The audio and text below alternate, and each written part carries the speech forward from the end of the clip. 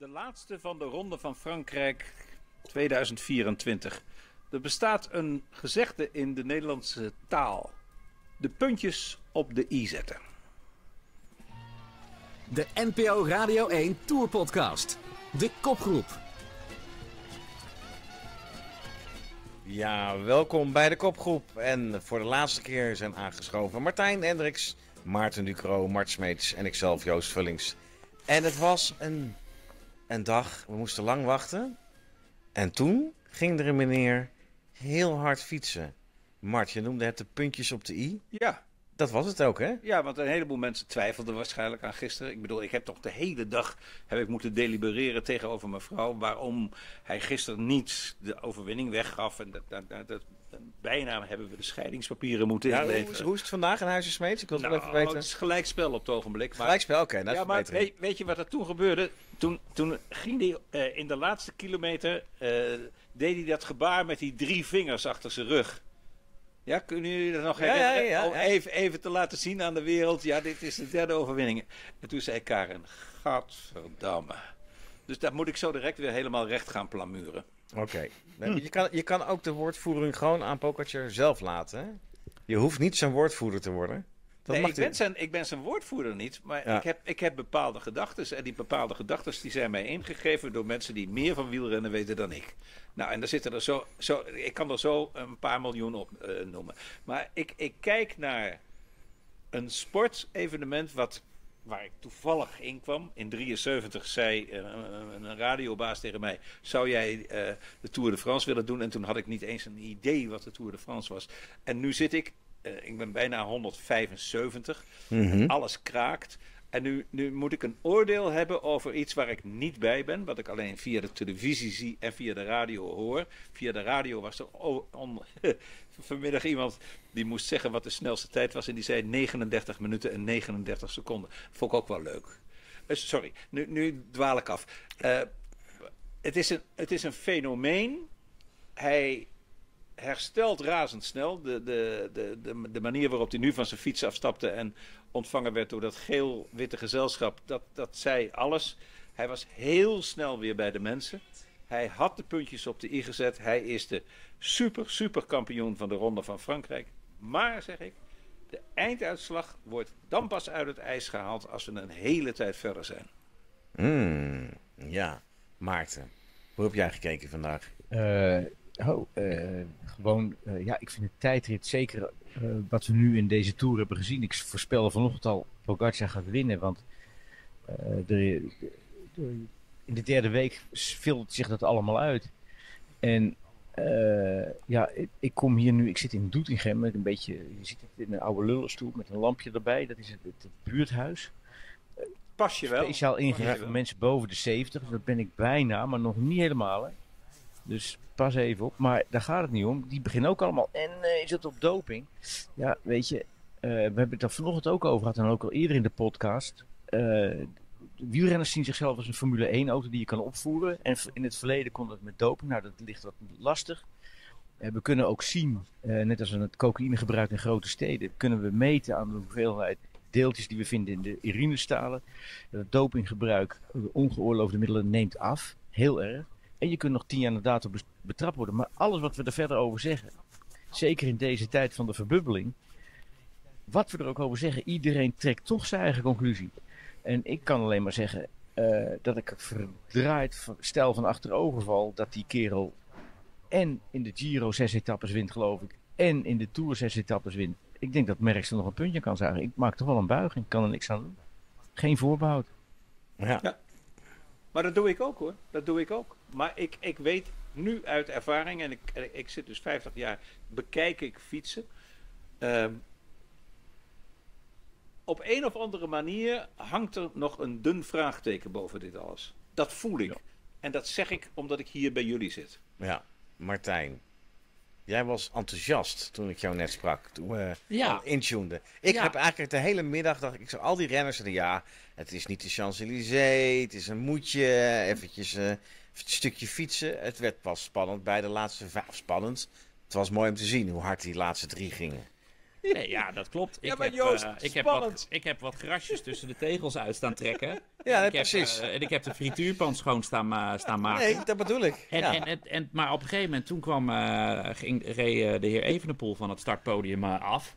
Ah, en toen begonnen die kleurtjes, die werden allemaal groen. En toen ging Vingegaard, toen werd het ook nog meer groen. Ah, en ik heb gewoon drie super topsportmannen, eh, topsporters aan het werk gezien. Die gewoon een gigantisch hoog niveau tijdrijden op de mat leggen. En ja, het is niet super chic om naar te kijken. Het is een beetje een soort kwalificatie eh, bij, bij de Formule 1. Dan denk je ook, ja, ja, ja. Maar het is wel een fantastische topprestatie. En dat iemand eh, zo'n Tour de France rijdt. Vingegaard, ja, gehavend door de val in Baskeland aan de start verschenen.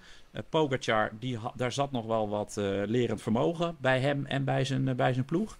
Maar dat je gewoon een Giro en een Tour wint. En wat Maarten net zei, eh, daar zes ritten, hier zes ritten. Dan heeft hij ook nog even de Strade Bianca gewonnen. Wordt hij derde in Milaan-San Remo. Wint hij in de ronde van Catalonië vier van de zeven ritten. Tussendoor pakt hij nog even overwinningkie in Luik eh, mee. En dan gaat door, door naar de Giro. Ja, ik zie hier gewoon een super sportman. En ik heb eh, deze Tour van hem genoten. Eh, en, en wat Mart zegt klopt.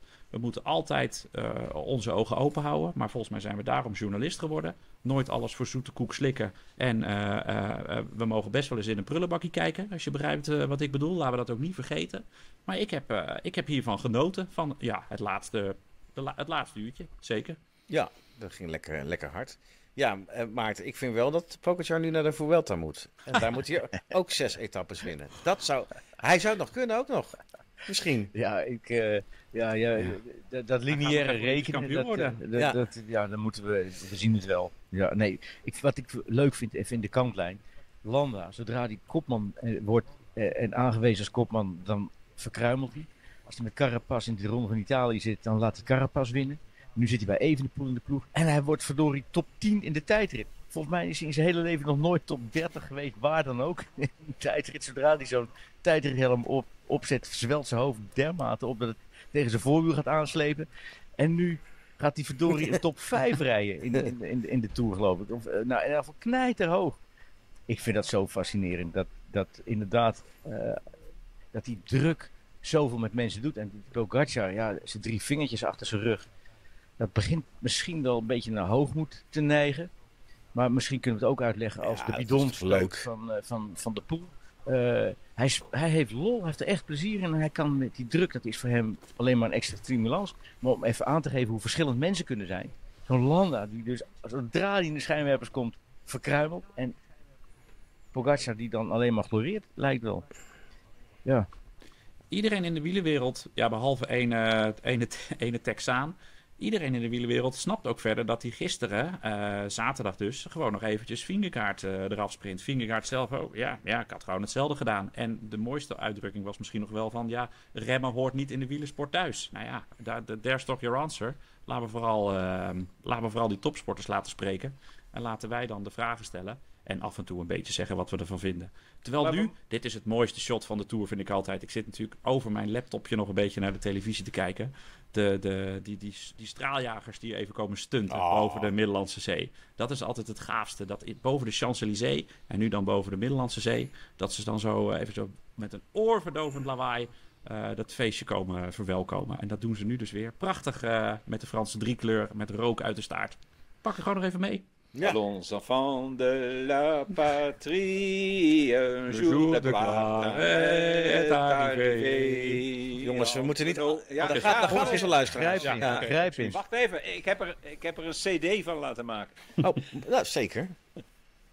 Maar Mart, jij wilde nog wat zeggen. Nee, ik heb ook genoten. Ik, ik Zeker. bedoel, naar, naar, naar fantastische topsport kijken, is, dat, dat is iets heel speciaal. Als je naar Bob Beeman keek, die 8,90 meter sprong. Toen zei de hele wereld, dat kan niet. En hij deed het wel door die dunne lucht en hij kon dat uitleggen.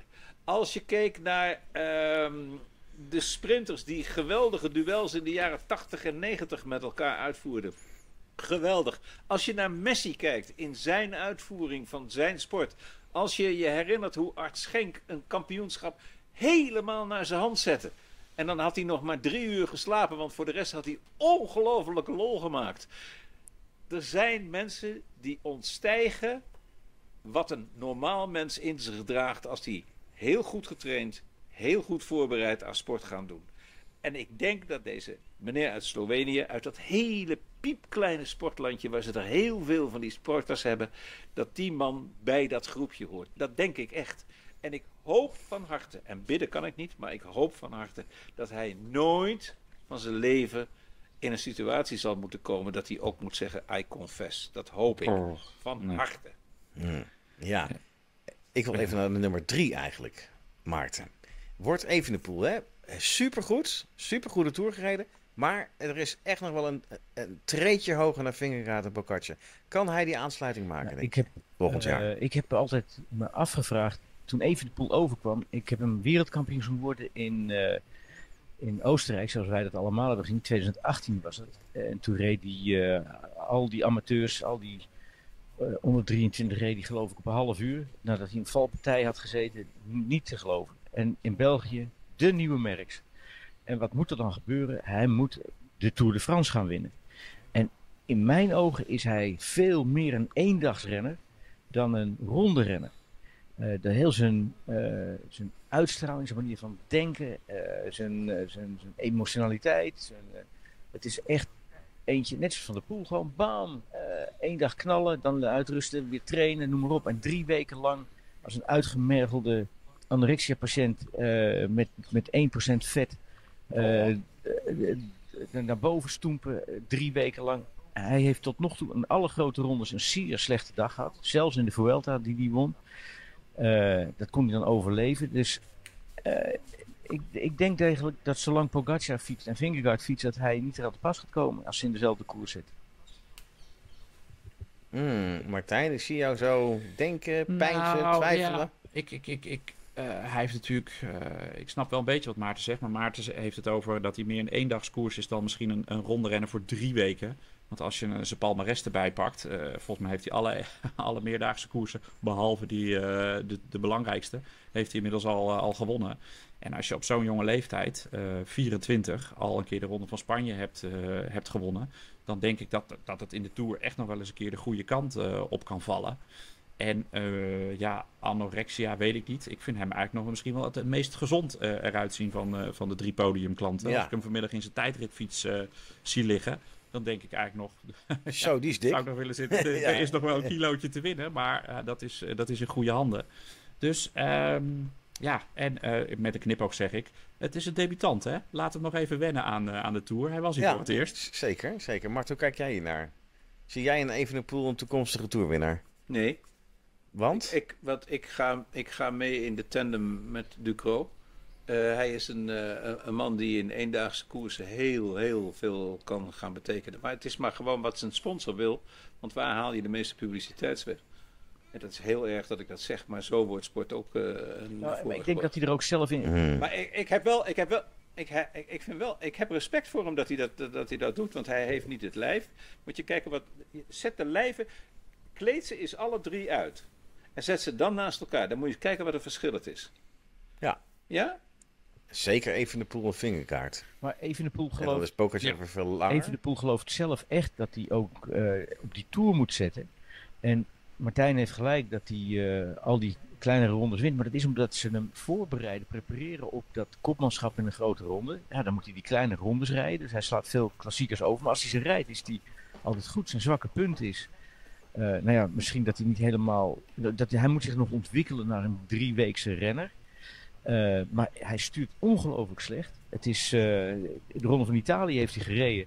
Werd hij gewoon op de kasseien, of op de Strade Bianca, werd hij gewoon uit het wiel gereden. Omdat hij de stuurmanskunst niet heeft om die fiets te laten lopen. Valpartijen in afdaling, ook in de Ronde van Spanje. Echt, het is, hij moet daar echt nog een stap in maken. En, eh, en ik heb altijd slechte ervaring met mensen die in het plaatje gaan leven. In de wensgedachte van ik hoor daar thuis op dat podium en dan in dat plaatje in plaats van dat ze gaan doen wat in hun DNA zit en van binnenuit. En eh, ik, ik laat me graag verrassen, want het is een waanzinnige atleet. Eh, maar laten we kijken. Ja, en jongens, wat hebben jullie nog toe te voegen aan deze tour? Niks, morgenavond, Boksmeer. Er Ja? staan er 60.000 mensen met bierglazen in hun hand. Nou, mochten, ze- mochten ze willen, 60.000. olé. Ja, ja. Nee, ja, maar als je Pogacar wil zien, dan moet je dinsdag naar uh, Suurhuis te Veen. Dan Ja, kan ja. je in de, in de schuur van eh, de heer Atsma kan je eh, kan, CDA Pogacar zich, eh, kan, eh, kan eh, Pogacar zich omkleden. En dan kan je, eh, dan kan je een toerwinnaar eh, zien. Nou, dat kost wel. Nou, richting een tonnetje gaat dat wel hoor. Ton? Neemt hij nog? Ja, dat denk ik wel. Ja, zal het ja. Armstrong kwam niet, eh, kwam niet voor minder hoor. Ja. Ja, En, en, en, en hij wint, denk ik. Hè? Als we daar gewoon... nee, Nou, net. Met Zeker, een- ja. met ja. Met, drie, met drie centimeter Ja, Ja, maar dan zie je dus dat hij dus, dus zijn vorm dan al achteruit gaat in Ik denk dat hij met Frank van der Broek op de streep Ja. afkoerst. Ja, en, ja. Dat, en dat hij dan net, net à la Bardet, dat lijkt alweer lang geleden hè. Ja, Dat vind ik altijd zo weird in de Tour. Dat deed ik dan eh, met Herman van der Zand, met wie ik vroeger eh A2 in de Tour rondreed. Dan gingen we in week drie wel eens een spelletje doen. Van, eh, oké, even alle etappenwinnaars opnoemen. En dat je dan bij de derde etappe al... dat was alweer zo lang geleden. Dat was één grote blinde vlek geworden. Ja, maar kijk, ehm, eh, de week na die tour, die is er om te cashen. Ik, ik grijp nog even terug op de tweede etappe van deze tour, toen eh, die Van der Broek eh, tweede werd. Wat, wij- wat wij vreselijk vonden, want waarom moet je van een, van een mottige Fransman verliezen? En toen was het commentaar van Maarten zijn ex-collega Michael Bogert, dat scheelt hem 12 criteriums. Dat vond ik, dat was zijn, zijn eerste gedachte was, dat scheelt hem 12 criteriums. En ik kan me dat wel indenken. Ik ben, vroeger ben ik ook eh, door de NOS overal naar criteriums gestuurd. Ik ging naar Tiel, hoe heet dat leuke plaatsje bij, bij Hilversum, waar ze vroeger dat criterium hadden. Heb jij nog wel gereden, Kamerik. Maarten, denk ik. Waar Krijn Kamerik. Nee, Nee, niet eh, Kamerik. Korte Hoef. Korte Nee, Hoef. nee, niet kamer. Nee, nee. Korte hoef. Ik ben met een. Hier, dit is. Dit is, tra- dit is wat wielrennen met mensen doet. Stefan Roach wint de Ronde van Frankrijk. Ik maak een afspraak met hem. Hij komt naar Nederland toe en hij rijdt Korte Hoef. Korte Hoef wordt bestierd door een oud professional renner. Die, heette, die man heette Krijn Post. Dat was een ontzettend aardige, lieve man. En die zorgde dat alles voor elkaar was. Ik heb een afspraak met hem gemaakt. Ik interview hem. En ik zeg, ik breng je wel daarheen. Met de cameraman kunnen we nog een paar shots maken. Wij komen in Korte Hoef aan. En er staat een man staat bij een hek. En die zegt, ho. En ik zeg, goedemiddag. eh, dit is meneer Roach. Dit is de winnaar van de Ronde van Frankrijk. Die moet rijden. Dat kennen er zoveel zeggen. Ik zeg, ja, ik weet dat u hier staat om mensen tegen te houden, maar neemt u van mij aan, dit is meneer Roods. Hij zegt, ja, jij bent van de NOS, maar lopen. Ik zeg, nee, dat, dat is, u, u snapt niet wat ik bedoel. Dit is de Tour de France winnaar die hier voor het publiek ja, komt rijden om jullie allemaal een plezier te doen. En nu gaat u zeggen dat hij moet lopen naar zijn kleedplaats. Ja, dat zeg ik. Ik zeg, wilt u meneer Post alstublieft voor mij bellen? Meneer, en, ik ben heel netjes gebleven. En Krijn Post komt eraan en het is binnen 12, 1 tiende seconde is, is het, die man krijgt geweldig onder zijn voeten en wij kunnen doorrijden. Maar dat is nou precies wat gevoel doet met een Tour de France winnaar, een etappewinnaar. Mensen komen graag kijken en ik, en ik kan me dat heel goed indenken. Het is een avond uit. Het is een avond die Tour herleven. Je ziet diezelfde koppen. Ik hoorde vanmiddag een radio-interview. Ik denk dat het een radio-interview was met, met eh, Groenewegen. Groenewegen heeft zich laten overhalen om morgen naar Boksmeer te gaan. En toen zei de radioverslaggever: Ja, dat kost dan wel een, eh, een beetje meer. Nou en? Hij doet een heleboel mensen plezier om morgen aan het vertrek te komen. Ik kan me nog herinneren, ik heb Boksmeer een keer gedaan. Dat is fantastisch, jongens. Dan had je Teunissen en Rooks. Nou, die waren heilig in Nederland. Hè, want die waren, weet ik veel, tweede en vijfde geworden in de Tour. En dan ging Rooks, want die kon dat heel goed, die ging een proefrondje rijden. Dat noemde hij altijd zo. En dan stak hij een sigaret aan. Ja, echt waar. En dan reed hij dat rondje met een sigaret in zijn mond. Nou, de mensen kwamen niet meer bij van het lachen. Het was applaus en ze hadden een plezier. Heb je Rooks gezien? Dat is wat de Ronde van Frankrijk met mensen doet in de week daarna. Kijk, in België hebben ze Aalst, wij hebben Boksmeer. Dan gaan we naar Surhuisterveen en naar al die steden. Laten we plezier halen uit deze drie weken fietsen. We hebben prachtig fietsen gezien. We hebben tegenvallers gezien. We hebben valpartijen gezien. Wij hebben elkaar iedere dag kunnen spreken. We zijn het met elkaar eens of niet met elkaar eens. Maar dit is de wereld waarin we leven. Iedereen was het erover eens dat Pogacar de beste was. Hij heeft vanmiddag in een tijdrit heeft hij bewezen dat dat zo is. Punt op de i, zoals ik begon en ook sluit. Ja, nee, de cirkel is rond. Het zijn eh, mooie slotwoorden. Overigens moet ik natuurlijk dan wel zeggen dat de leden van de kopgroep te huur zijn als speaker bij ieder criteria. Voor, voor het zachte bedragje van 20 mil zijn wij. Oh, ik en, voor 18. en dan, doe ik, dan doe ik het, doen, we het samen, doen we het samen voor 18. Want zo zijn wij. En dan, je. en dan noemen we dat de grote prijs Theo Komen. Eh, Precies. Nee, dus weet je, ja. Nou mensen, we, gaan, eh, we zijn er weer, de kopgroep, eh, met de Tour de France voor vrouwen. Die begint snel in Rotterdam. En met de, met de Olympische Spelen, de Vuelta, misschien op de Ronde van Lombardije. Kortom, eh, u bent ons nog niet kwijt. Maar in ieder geval eh, zeggen we voor nu eh, dat het eh, eventjes voorbij is. En eh, tot volgend jaar. Ja, Martijn moet huilen. Eh, heren, bedankt iedereen die heeft meegewerkt. eh, van productie, andere leden van de kopgroep. We zijn weer snel bij u. En volgend jaar zijn we sowieso weer terug met de Tour. Dag. Dag. Ja, dat was hem alweer, de nieuwste aflevering van de kopgroep. Wil je meer zien? En dat wil je? Klik dan eh, ja, hier ergens eh, op je scherm. Abonneren kan ook. Klik dan op het bolletje.